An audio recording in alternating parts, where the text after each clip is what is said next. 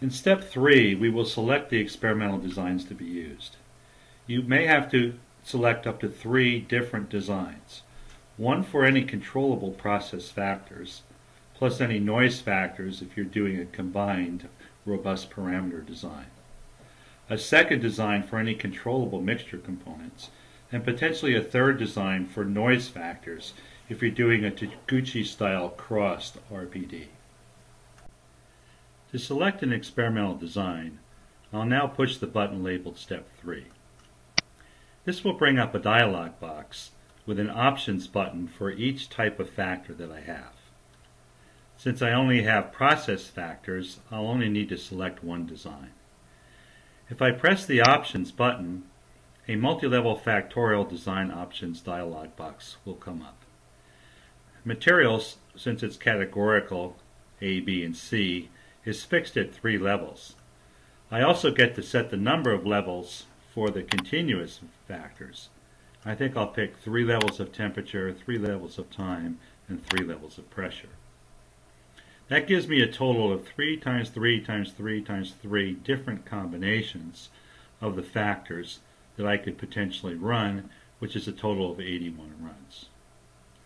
I could also replicate these 81 runs if I added one replicate for each, that'd be a total of 162 runs.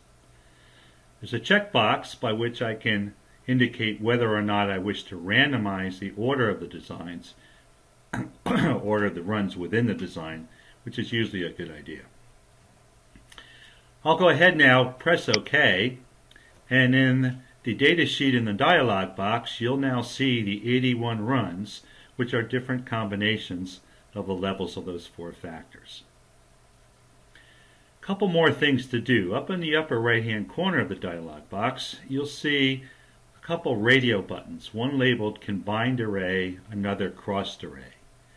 They're grayed out in this case because I don't have any noise factors. This would only apply if I had selected both process factors and noise factors to study.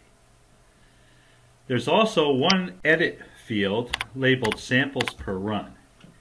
Here I specify how many samples I'm going to collect every time I do an experiment. I've decided to collect 30 samples per run. And from those 30 samples on each run, I'll have the program calculate the average and the standard deviation.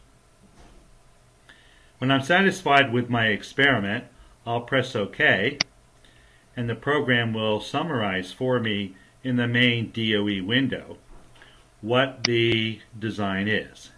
You'll notice it says here in step 3 I've selected a factorial design, no center points. Um, the design is randomized, yes, it has 81 runs in a single block. There are also 63 degrees of freedom available to estimate the experimental error. At the same time, if I go and click on the data book up at the top of the navigation bar, I can see that the design, the 81 runs for the design, have been placed into datasheet A. At the same time, datasheet B, which is now labeled strength, has been filled in with 30 columns into which the 30 samples will be typed every time I do an experimental run.